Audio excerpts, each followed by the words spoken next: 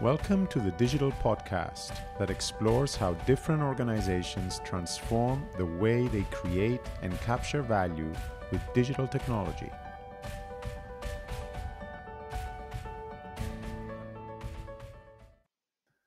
Marcus, good morning, and thank you for uh, joining the Digital Podcast. I'm really excited uh, to hear about all the things that you're doing uh, at Fujitsu and, and also um, especially the uh, uh, the notion of cultural transformation, which I know you're very passionate about. So um, perhaps uh, we can start by you introducing yourself. maybe you can say a little bit about how you ended up with Fujitsu, um, various roles that you had in the past, and uh, what makes you so passionate about uh, digital transformation. sure. Panos, uh, thank you very much for inviting me. It's lovely, lovely to be here today, um, and to have the opportunity to talk to you about something which is which is so exciting and is very relevant in the mind of many many organisations that we talk to today. Um, by way of a background, I started off in this industry uh, a long time ago, um, really working in the area initially of uh, data and analytics, data warehousing. It used to be back in the day um, various roles, starting off um, starting off with Hoskyns that became Capgemini, uh, then IBM, and I found my way from data warehousing, moving, if you like, forward in the stack in technology to CRM, and working a lot with customers in customer relationship management, and that was a, a number of years spanning um, small organizations and also spending a number of years at Microsoft um, working with them to build their, as their CRM products matured and came to market, working with some of their largest customers in the UK to actually deploy customer relationship management in all of its forms. Um, and that's what really started me to get the feel for, if you like, the human computer interface and the, the role significantly of how technology can both enable change and can drive change, but more importantly, how by not considering the human aspects, um, and that's particularly manifest in the CRM space. That you can you can start to you can start to cause as many problems as you can solve with um, with some of these deployments, um, and also you don't tend to get the full benefit of them. From Microsoft, I spent some time at Capgemini doing a very very similar role, and then I've been I've been at Fujitsu for nine years, working uh, as our chief digital advisor um, head of strategy and growth in our digital transformation business, uh, working alongside a number of colleagues who spend their time, if you like, helping customers solve their problems, realize their digital ambitions, and increasingly their sustainability ambitions. Part of that is the technology, but part of it is the real the real transformation that needs to be, take place if you're actually doing digital transformation. And I think it's always worth considering is, you know, digital transformation comes in several forms. You've got everything from digitizing to digitalizing and digital digital transformation itself. None of them are wrong. They're just different things and understanding what an organization is trying to do from that base level, how it connects to their strategy, etc., is really, really critical in being able to drive those benefits. That's great. Thank you for that introduction. Can you elaborate on what you mean by culture of innovation or culture uh, more broadly? Um, and how do you achieve digital transformation uh, by taking into account the culture um, of, of an organization? Sure. So I think when people talk transformation, when they talk large scale change in an organization, they're often talking about the hard systems. They're talking about technology. They're talking about processes. Uh, they're talking about organizational change many times in your, um, when it comes to transformation.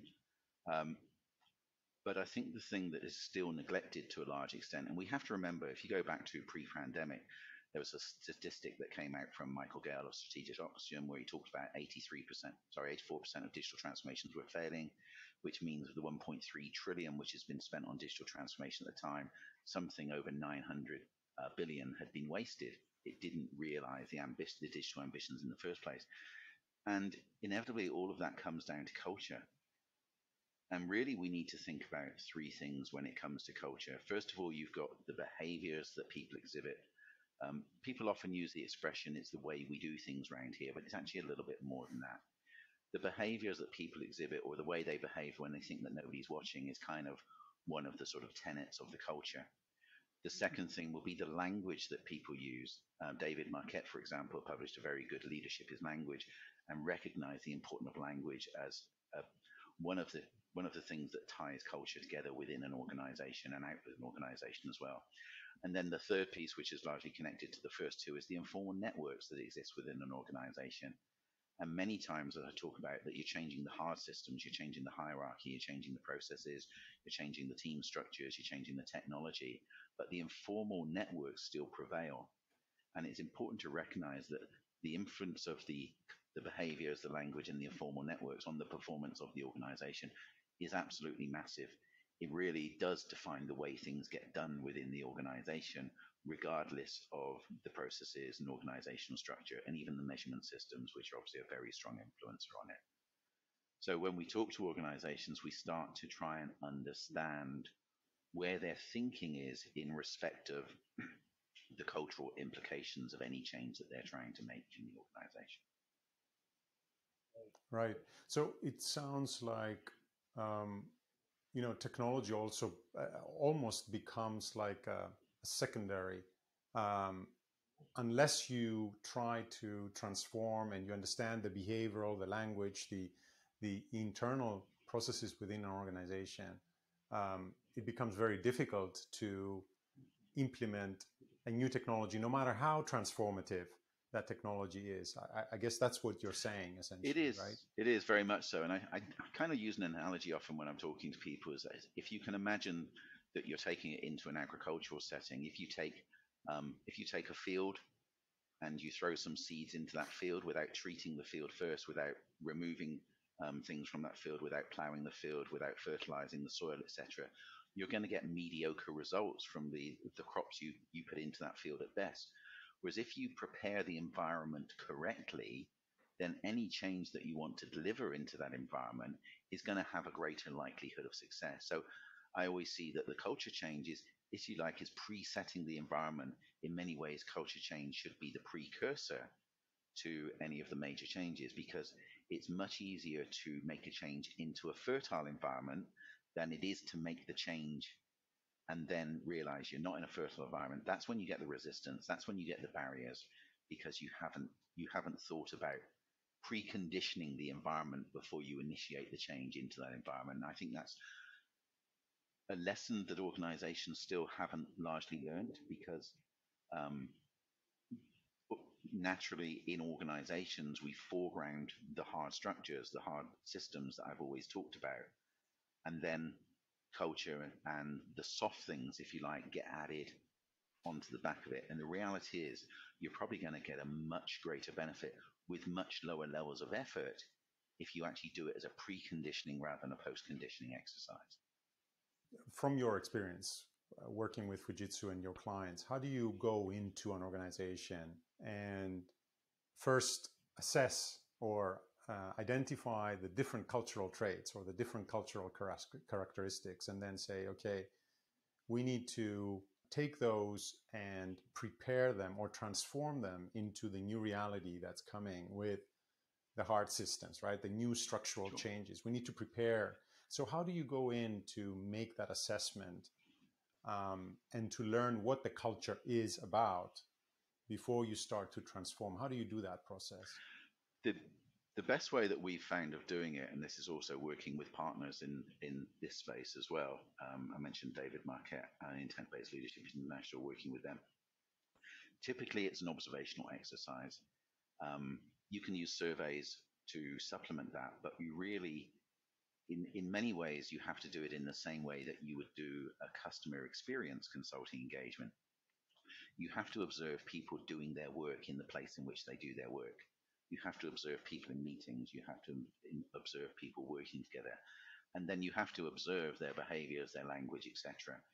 Because mm-hmm. it's very, very hard to survey culture. It's very, very hard to design surveys for culture. There are some examples out there, but realistically, um, by observing people doing what they do where they do it, you're going to look at how they behave, how they behave in meetings, the language they use at meetings, the structures they use at meetings, um, when they're working together in teams, when they're collaborating, etc. And very, very quickly, you can pick up what the norms are within the organization. You can pick out um, areas that they're avoiding talking about, areas that they're foregrounding to Mhm. talk about more than anything else. You can understand um, where the decision making dynamics lie within the organization, where the power structures sit within meetings, etc., and how the flow of information works around those meetings, those working informal groups. And very quickly, you can understand if the organization um, is is it market focused? Is it product focused? Is it um, is it risk averse? Is it innovative? All of those things. Looking at the different dimensions of culture and understanding what what it would need to do in order to achieve the goals it's setting for. And I think in many ways that's the other piece that is often neglected is organizations don't think enough about the sort of culture that they need. There's a lot of, if you like, reference to organizations who are seen to be, if you like, cool and funky, the disruptors in the world. So they talk about the Googles, they talk about the Netflix rules, they'll talk about, you know, the, the one pizza teams, they'll talk about um, the processes they use in Amazon, etc. All of these organizations who have been incredibly successful and incredibly disruptive. But to just pick cultural artifacts from those organizations and apply them to organizations is not really the way you need to do it. You need to understand what it is your organization is trying to achieve. Where are you strategically? Where are you positioned within the market? How is your approach to the market? And what sort of behaviors do you need to underpin that?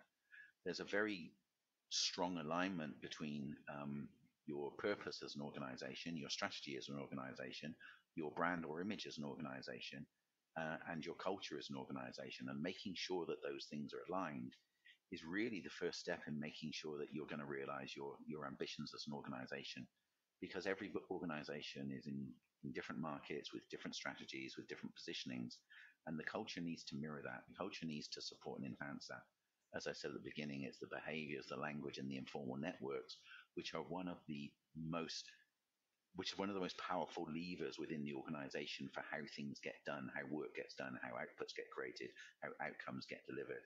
So making sure that they are your culture is aligned to your purpose, it is aligned to your strategy, it is aligned to the image um, that you're portraying to the market is absolutely critical in that.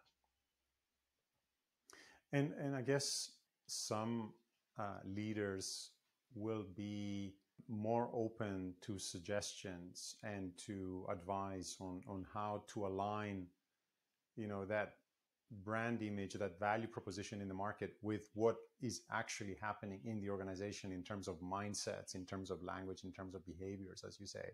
And uh, so I'm, I'm trying to get into how do you deliver some of the insights that you gain from engaging in observations and surveys with organizations in order to then uh, you know start the process of okay we need to do x y z you know these things are not aligned and and we need to change them prior to engaging in more structural uh, transformation. And if if you could provide some examples of different leaders in organizations that you worked with as you say you know not everyone can be an amazon.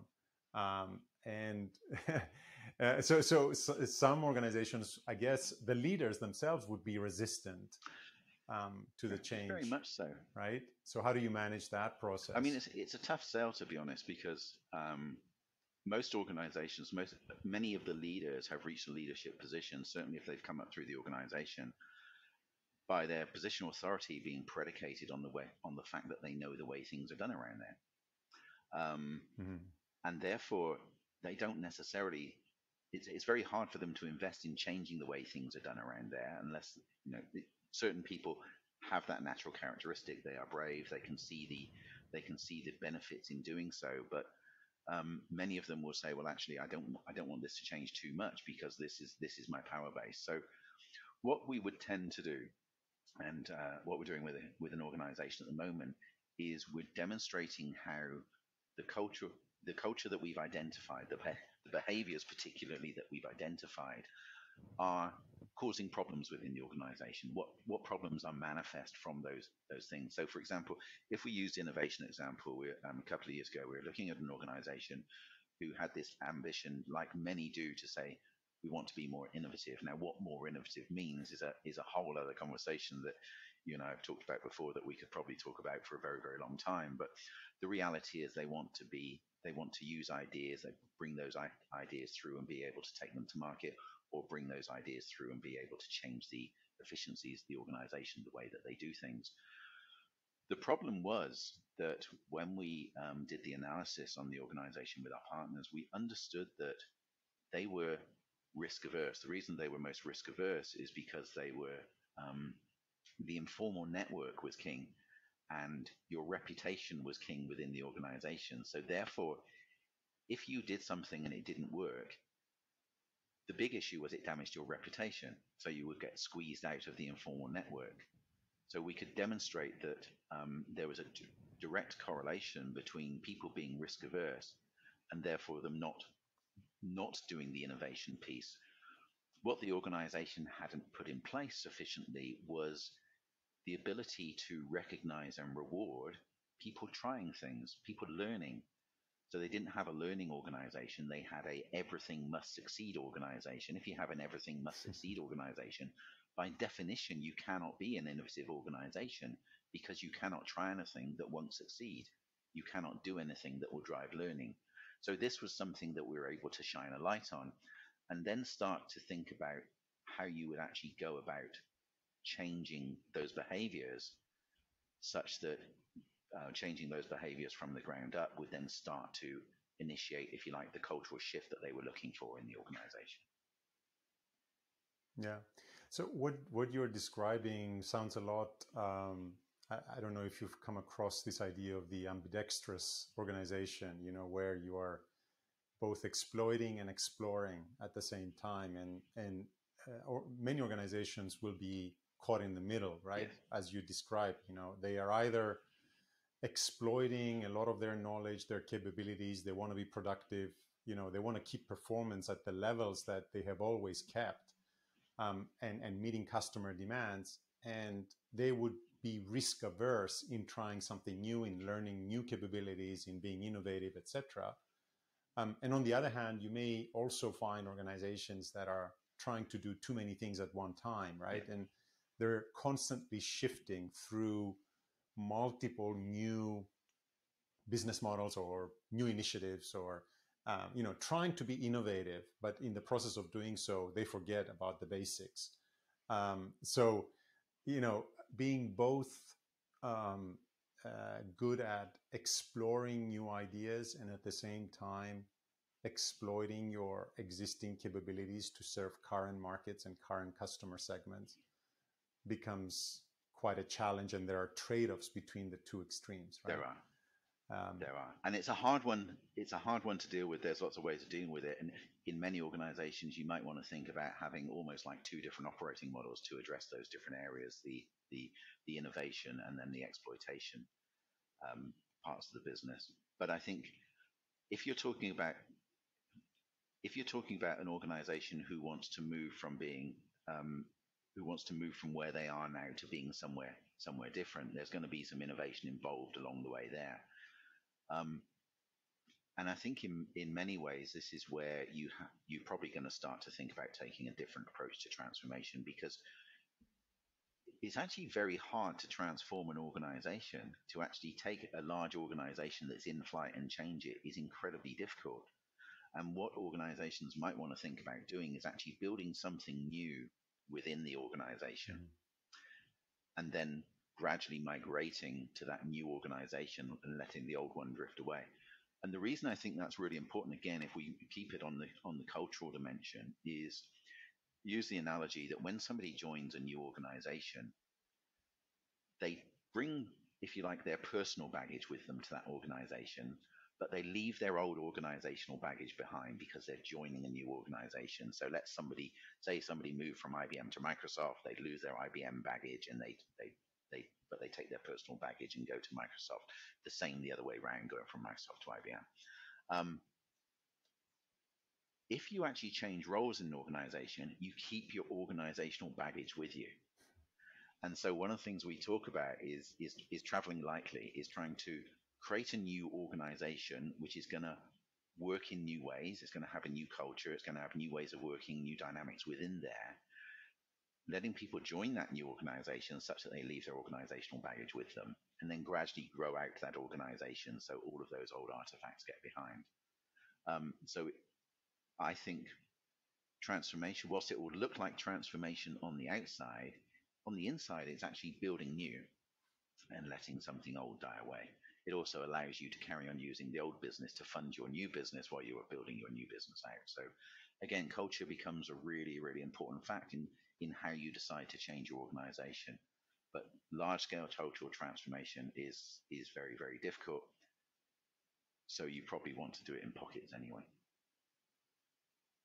And I, and I hear you saying that there are two ways to change culture, right? There's the the soft learning, behavioral incentives, you know, encouraging innovative activities, etc. But there's also, I hear you saying, and correct me if I'm wrong, that structural separation, right, or spatial separation between units. You know, having one unit work on an innovative new idea while keeping. You, you mentioned keeping keeping the old while working on the new yeah. and then transitioning, right? So this this structural, um, you know, mechanism of uh, separating units, working on different um, ideas at the same time, and then gradually transitioning, right, um, one to the other. Um, but at the same time, you need to keep giving incentives for learning and changing behaviors, etc., which are more softer, I would say, ways of changing cultural, uh, uh, changing the culture within an organization. Yeah, and I think you have to use the same techniques in in both circumstances. It's it's just it, it depends on the scale of what you're trying to do. If you're trying to if you're trying to transform an entire organization, I do believe that a structural separation is probably going to be the best way of doing that in letting something um, something small emerge and grow and let something um, that you is not desirable anymore, else you wouldn't want to move to the new model, um, die. But equally, all of the techniques you talked about, the softer techniques, the rewarding the behaviors, the um, the allowing allowing the successful behaviors to be very, very visible, regardless of success or not, is important mm-hmm. in in either model. And I think that's that's where we sort of have to recognize that the as we were talking about when we spoke recently, if you actually go out there and search on the internet for actually how you change culture, there's nothing out there um, organizations will say that you know culture is important you need to do this you need to do that there's lots of analysts talking about it um, and there are indeed some people saying that you can do small interventions and I, you know I won't comment on on some of those but the only way that culture changes is through experiences is a culture, whether it's a national culture, um, whether it's an organizational culture, it, it changes through experiences. And the, the most powerful experiences, because it, talking about social groupings, are shared experiences. So shared mm-hmm. experiences will shape the culture more than anything else. And there's also, you know, the old maxim that no revolution ever started from the top anyway. Um, so in an organization, you have a dominant culture, and the dominant culture is the way people behave, their language, their informal network. There's probably within that some residual culture as well, which are some cultural behaviors and language which which comes from a time that's gone by and nobody can really remember why they exist. And then the other type of culture which is important is emergent culture. And we all know that every dominant culture used to be an emergent culture, but not every emergent culture becomes the dominant culture. So what you're looking to do as an organization is you're trying to understand what you would like the dominant culture to be.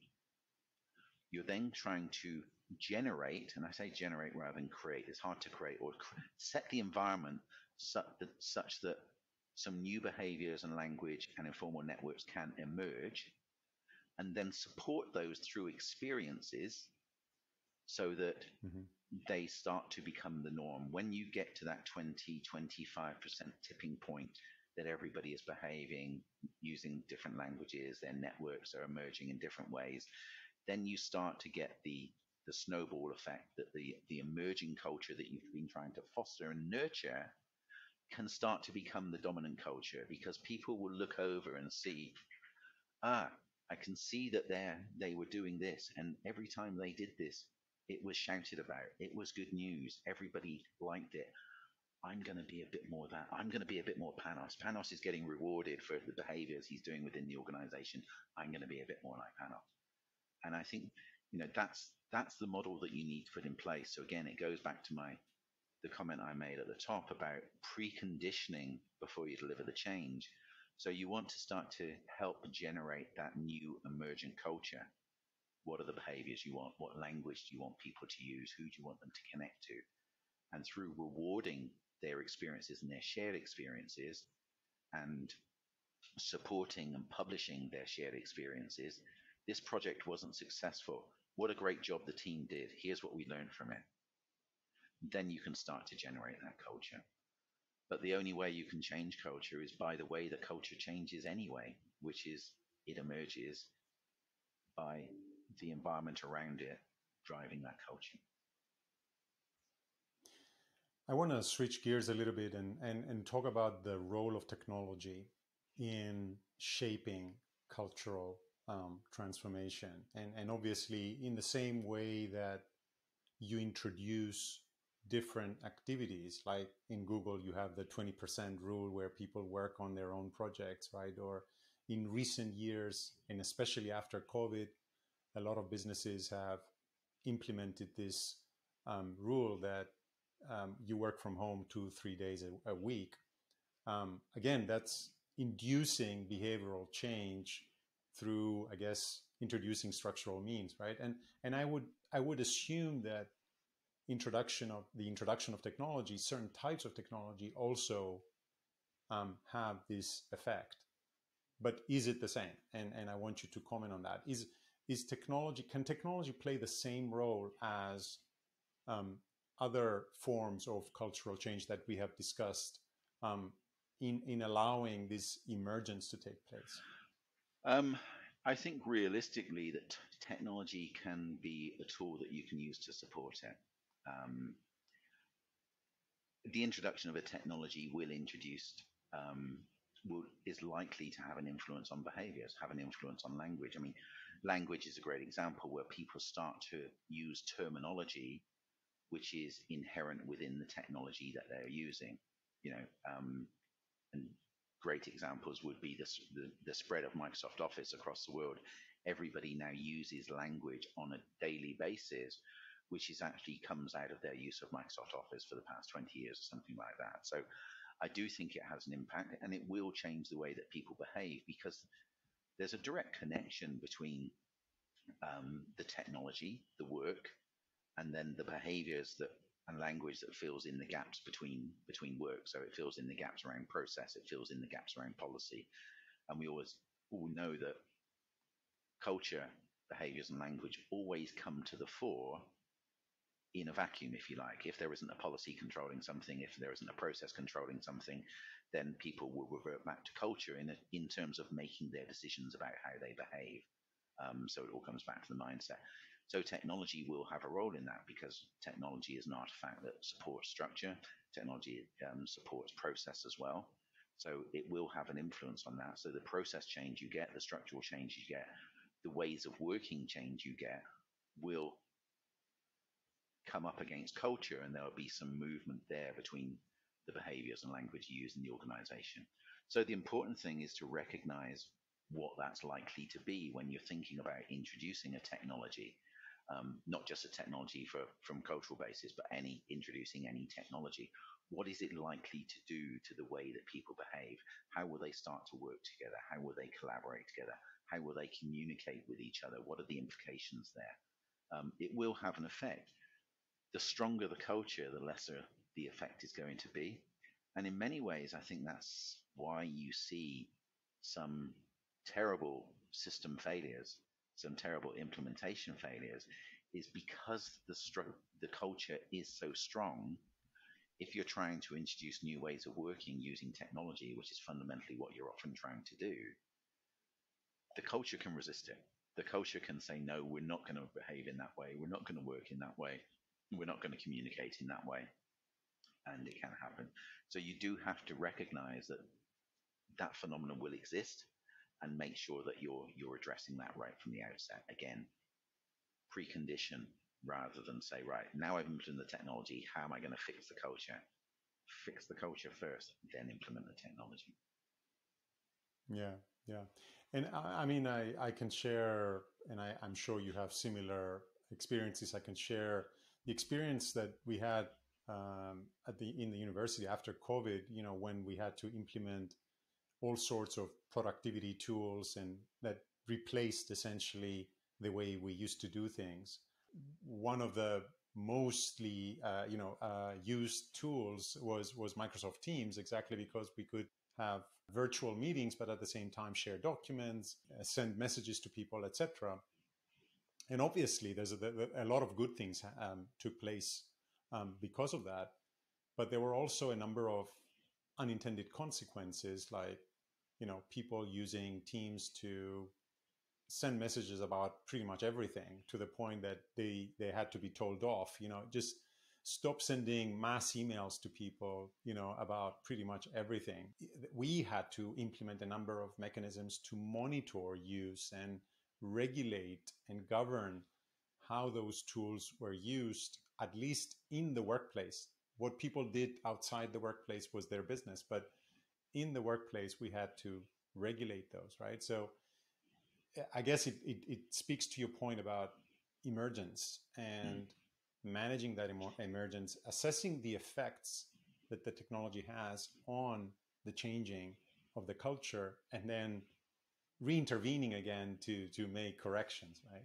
Absolutely, and I think there's another good example as well, and you see it. Um, you you can often see it in in public sector organisations and it's the you were talking about sharing files, etc. And the concept of sharing within an organization is very much deeply rooted in the culture of an organization. A couple of, couple of examples that I, I tend to come across all the time. The first one would be a shared services, organizations moving to a shared services. And what's really interesting is everybody kind of likes the idea of shared service. Having a shared service is more cost effective for me. I don't have to worry about it. I can just consume, etc. And I'm happy to do a shared service, but I want everybody to share my service. I don't want to share everybody else's service. And there is that. So trust is an important aspect of, of culture as well. And one of the things that is always important to do is to assess those trust dynamics when you're talking about implementing shared service. The other one that's particularly interesting, you'll see this in financial services organization, is just the sharing of data. You see, um, again, public sector financial services, both very, very strong in this, is everybody really buys into the concept of shared data, of a single version of everything being shared about the organization, everybody using it, everybody contributing to it. But the trouble is, I don't trust everybody else's data. So I like the idea of sharing data. Everybody can use mine as long as I trust them.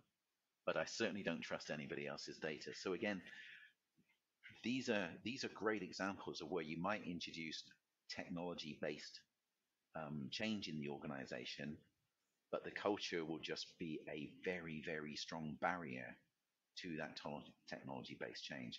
And it's something which is an organizational culture thing often rather than an individual culture thing. You you find in most organizations, if you find that somebody doesn't trust everybody else's data, nobody trusts everybody else's data. It's part of the culture. It's rarely an individual thing. Same with shared service. If they don't trust anybody else's shared service, nobody trusts it.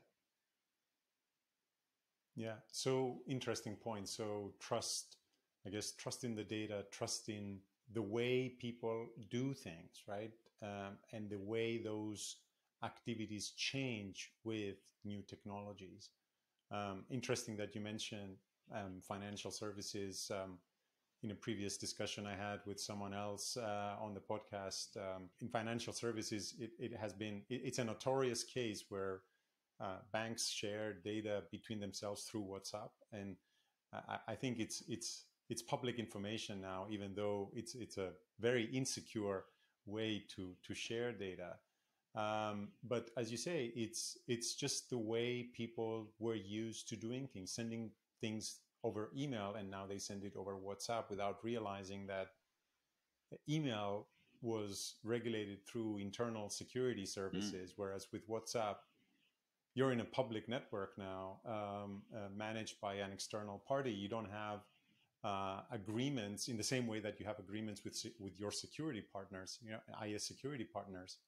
Um, so it's interesting that the activity continues without realizing that the the technological parameters of the activity have have changed and therefore you need to regulate them differently. So interesting points around trust uh, in on the data, security issues, and all the rest of it um, that absolutely connect with the way the organization does things, right? The culture of the organization. Yeah, and I think the trust issue actually comes back to not so much trust of the, the trust of the data or trust of the system. It comes to trust of the other people who are the owners of the system or who have initiated the system. And I think the WhatsApp example is is is just a fantastic one. Is that um, there's there's an irony in saying that I don't want to share data on this corporate system because I don't trust the people using it and I don't trust the corporate system.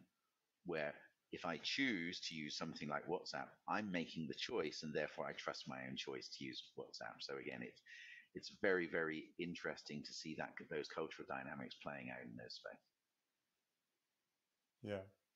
And, and that brings us to the next topic of our discussion, which is transitioning this cultural change with the external partners. So you mentioned, you know, you have all sorts of technologies um, and obviously all sorts of different partners that work with you to achieve your value proposition in the market, mm. whatever that is, and meet customer demands, etc.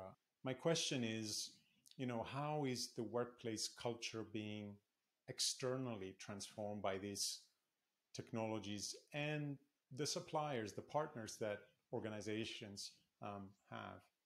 Again, I think it's very interesting is that the um, the dynamics in terms of partnerships and organizations working together have changed significantly um, over the years.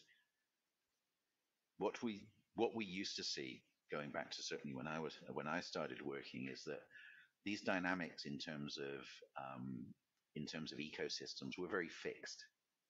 Um, every there was you know a nice linear supply chain that we used to describe in business schools from primary products right through to to the end consumer and as as the world has changed as economy has changed economies have changed and as as certainly as technology has has disrupted many industries or certainly changed the dynamics in those industries we're seeing a more fluid model within um, within organizations, and that's that's affecting the way that organizations are starting to think about their work. I mean, supply chain issues recently that organizations have, have faced is that organizations are getting to the point where their supply chains cannot be hardwired anymore because by having them hardwired, if that is disrupted, what's your plan B? What's your alternative? How are you going to how are you going to build resilience into your supply chain you're not going to do it by locking it down and hardwiring anything. You're actually going to you're going to build resilience in by opening up and making it dynamic and adaptive, as the term we use for it. Um, which brings us on to the there's got and it connects to a cultural dynamic across um, across ecosystems, and we talk about this concept of ego system versus ecosystem. Um, and an hmm. ego system is defined where you believe you are the center of the universe. And we all know that the reality is you need to define customer, citizen, or consumer at the center of an ecosystem. Um, and then recognize that there's a difference between um, value creation and value capture. Um, it used to be the view that because it was an ego system, I had to be right close to value creation, and that's where I do the value capture. That's the best place for me. But in, in most most organizations actually haven't occupied that position in the in the customer ecosystem. They've occupied a different position in the ecosystem. So the idea behind an organization is is to really think about where you're going to play in an ecosystem and where is best place for you to capture value um, in that ecosystem. And it may not be at the point that value is created. If you think of the, the full ecosystem, we were working with um, with an organization recently where we could have gone right to the front end with this with this public customer and we could have engaged with them to deliver the full service we recognize that our strength and the best place for us to to capture value was was in the provision of technology and infrastructure services, and not many of the other services that came as part of this um, this packet of work. So we partnered with another organisation who would normally have been seen as a competitor to us, um, but they had strengths in an area that we didn't have. We had strengths in an area they didn't have. So they are now at the point of value capture, the front end with the with the end the end consumers of the service, and we are stepped back from that in that model, we're all we're both able to optimize the value that we're getting from that relationship and the value that ultimately from the provision of that service into the recipients of that service. So, and again, that required a different way of thinking, a different mindset, and connecting into the culture as well, to think about ourselves differently, think about our role in that very differently, and also to look at the trust relationship between the parties to understand, mm-hmm. you know, how we could make sure that we were working as one, how we had the trust built into that relationship, into our ways of working, so that we could we could establish a set of behaviors more than the processes and the contracts in place at first, a set of behaviors that would allow us to, you know, to coexist very, very successfully in the provision of that service. Yeah, so it's interesting. So um, essentially, through these cloud-based um, uh, technologies that are emerging, a lot of organizations are realizing that, as you say, they cannot play the role that they used to play anymore. They're part of bigger ecosystems. They have to shift the way they value create and value capture. Some companies will not be in a position to play the role that Microsoft is playing or Amazon is playing because obviously they don't have the capabilities to do that and and that creates tensions obviously right? I mean um, especially if you are a large organization that used to be a systems integrator or big supplier for a number of different clients and now you realize that things are done differently it, it, it's a big shock. But obviously this is digital disruption and it's happening and it's changing relationships. And through that you need to go back and rethink the way um, you manage things internally. I, I, guess that's that's what you're saying. Um, sure. And and and there is there is a different structure to managing these relationships that affects this process of value creation and value capture. Yeah, it is. It, it comes back to um, you know your core identity as an organization is is it's for, for many organizations, certainly in the systems integrator world, for example, it was fixed for a very, very long time. We own the customer, everybody else sits behind us, and we, we provide services into that. Um, and in a, in a stable world, that was absolutely fine because that's what the customers needed. They need somebody to be the funnel of these things in. Now the disruption has taken place. Now you've got technology moving so quickly. You've got the, the hyperscale vendors who are um, bringing new things to market at scale um, almost as commodities very, very quickly, you do have to reconsider your your position uh, within that market. Perhaps one of the most important things that we're seeing now is because of that pace of change, it's very, very hard to move from one position to another fixed position, if you like because that fixed position could be very, very transient with the pace of technology change that's, that's taking place at the moment. So what we're starting to see and what we're starting to look at is organizations being more adaptive. And it's not just in the technology world, you're seeing it in the automotive world as well. You're seeing it in financial services world as well, is that people are adopting different positions.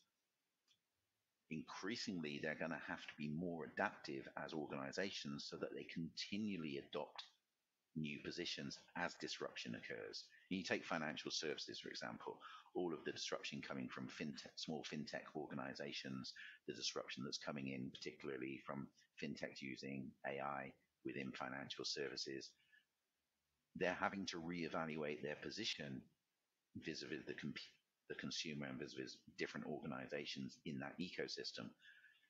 But because that change is constant and coming from different directions, they're going to have to be more and more adaptive so that they can pivot really, really quickly and not pivot everything, but pivot the things they need to pivot. And perhaps we're seeing, we might see a growth towards more modular businesses as we move forward. with different bits of the organization prepared to pivot. Almost, and again, this has been talked about for some time, an organization as organic as opposed to mechanistic.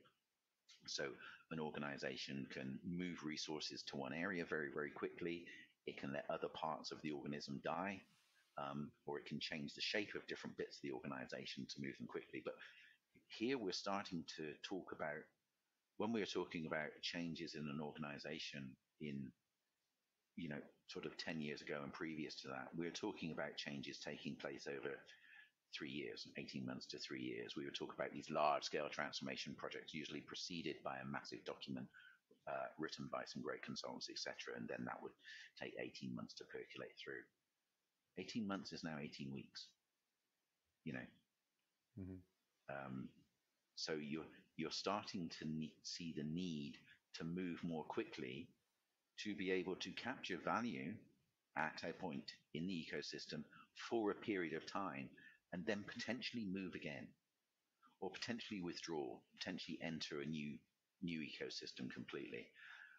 And that's going to take some rethinking of the way that organizations are built. It's going to take some rethinking of the organizational structures. It's going to take some rethinking of the processes in the organization. Technology can have a massive role to play here, but only if technology is implemented in the style in which the, the market is moving, which is which is very fast, which is very adopt it rather than adapt it. Um, use it the way mm-hmm. it's intended, and if the technology doesn't work for you, throw it out, keep the data, and bring another one in. And I think that you're going to see those changes. this all comes against a cultural backdrop where you're going to have to start to precondition your culture to be an adaptive culture, to be one that is comfortable with ambiguity, that is comfortable with change, that is comfortable with experimentation, that is comfortable for adopting new ideas. And I can see this as being the biggest shift that organizations are going to have to take over the next few years. Now we're in the post post pandemic period where there was that massive disruption. Is how do you build an adaptive culture such that you can foster an adaptive organization? Yeah, and that's that's a great uh, way of uh, linking our earlier discussion with uh, with this one. Um, and and I want to just uh, spend maybe one or two minutes. I know I'm conscious of the time. Uh, one or two minutes more on this idea of ego system versus ecosystem. And there are cases, there are sectors where organizations used to be partners, but now they are fighting for the same uh, piece of the pie exactly because of these disruptions and this transformation that is taking place in the market. So, in those cases, they will have to work together, they will have to adapt, and egos will have to be put aside. But how easy is it? And what needs to take place? What kind of governance mechanisms, um, what kind of changes in the way that we talked about cultural changes earlier, what kind of changes do they have to make now in relation to their ecosystem strategy? Um, whew, that's quite a, that's quite a subject to put through. That's a tough one. um, governance is governance again is is something that's going to have to change. Governance in the past was some very you know some very hardwired contracts that were in place. I think we're starting to talk about the concept of interfaces between organizations rather than handoffs between organizations and controls around those interfaces rather than rather than governance in, the, in a more traditional formal way, a contractual governance per se, so that you're going to have to define the interface between an organization and adopt some some ideas around ways of working, some behaviors. I think it's going to be increasingly important to talk about the behaviors you want to see as well as much as the hardwired things within that within that construct because um, because they're going to have to move so quickly because they're going to have to do so dynamic. You don't have the luxury of writing a whole new set of contracts and everything else every time you need to do this. It's it's something that's it's going to make you less adaptive than you need to be in that construct. So I I think defining the interface as well, being very open and honest about the value exchange between the organizations and then and and then being very very clear together on what the behaviors are going to need to be from everybody involved in that work is going to be more important than some of the traditional methods. There's still going to have to be contractual mechanisms in place. You, you're never going to get away from that. There's still going to have to be some governance in place. But if you are if you are being adaptive, one of the big questions we talk about, and probably a completely different subject, is where the decision making is going to take place. Because traditionally, organizations were designed so that you would filter information up through the organization. It would get to some a decision making level, and the decision would be made, and then the decision would filter down to the organization. That takes time. We've seen an example of the OODA loop where you're going to be success, you're more successful the faster you move through the, the OODA loop.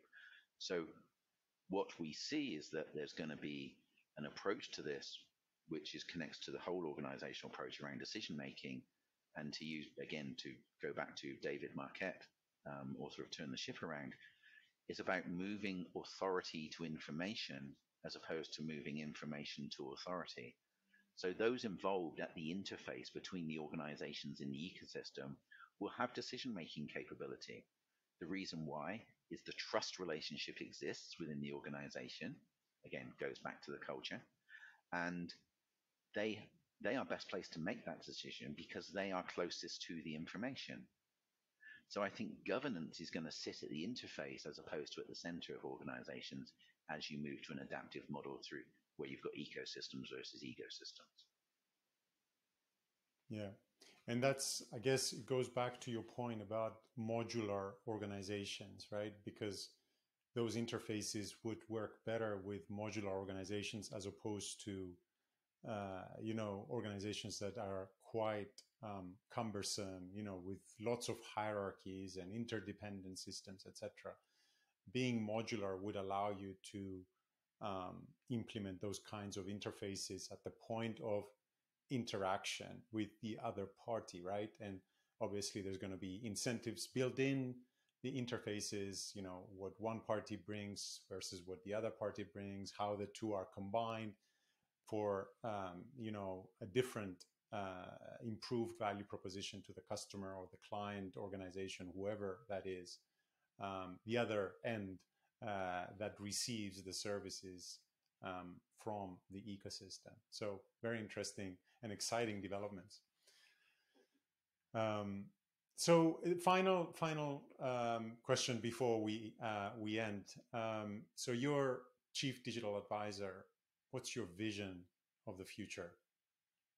I think that the the pace of change is going to continue relentlessly. There's going to be, you know, we're seeing lots and lots of social fractures taking place around the globe at the moment. So that's going to have its knock-on effect into everything that's business, coupling with the pace of change of of technology, which is it, it's going to just drive change on top of change on top of change, and everything needing to be adaptive, everything not being hardwired is is probably the way we're gonna um, we're gonna do things.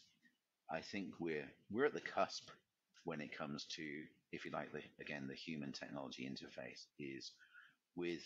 If you look at how much is being invested in artificial intelligence and similar areas at the moment, as we're doing ourselves, um, there's a question now in terms of which way it's going and there's lots of concern around AI taking over the world, taking over people's jobs, etc., etc. Where we're trying to go with it, and what my vision for the future is, um, along with colleagues within the business, is that we can harness the power of technology, particularly with things like AI, to augment the human experience, to augment those things which are uniquely human that make us who we are, both in our in our work, in our lives, in our play.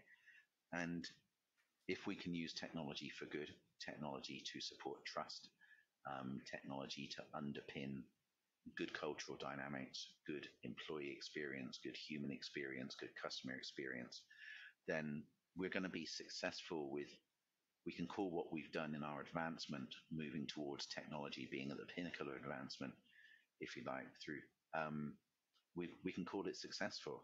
We can say that everything that we are building is making lives and work for everybody better by enhancing. Mm. So if you know if I had one wish to come true in terms of the technology world now that technology could make the lives of every single individual on the planet better it would be made more accessible to every single individual on the planet to improve their lives, improve the work we do, improve our relationships with each other, um, and use it to help bring back that human connection as opposed to driving apart that human connection, which we, we, we've seen examples of it doing in the past. So, yeah, if we can augment human connection using technology, then we're going to be in a good place. That's a great uh, wish for the future, uh, Marcus, and I definitely share that. Um, it has been a pleasure. Thank you so much um, for coming on the podcast. I, I, really learned a lot, and uh, I'm sure uh, our viewers will also appreciate your thoughts on this. Thank you so much. Thank you for having me. Really nice to talk to you. Thanks, Panos.